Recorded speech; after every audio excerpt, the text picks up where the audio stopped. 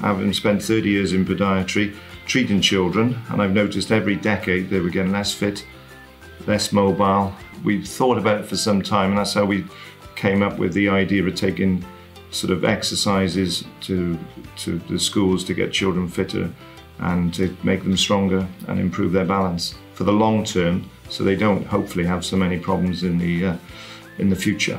The children have responded really well to the animation. They are engaged, they really enjoy doing it. They especially love the quick change superhero pose, and I'm reminded daily are we doing quick change? So it's been fab. It does fit into the new curriculum because the area of learning of health and well-being promotes physical activity, improving um, energy levels and mood levels, and I think quick change encompasses all of that.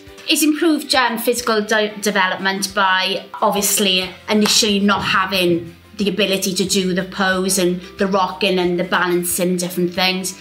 And the children were succeeding by the end. So yeah definitely. We went through different many different thing, schemes of animation. We ended up coming with the one we've got for quick change and we're very pleased with that now. I, I show this to the children um, on a daily basis just before we're going for dinner. So we pack up and then we're all focused and we're ready to go with our quick change activity. Initially, I think they were a little reluctant being in the unknown um, and then by the end they were asking could they could they do it we want to basically get this in every school in Cardiff and Vale first and hopefully in every school in Wales and if we can instill the fun exercise at this age it means they'll go on to, to do more exercise and find it fun and they'll obviously get fitter and stronger and it's got to be good for the future generations.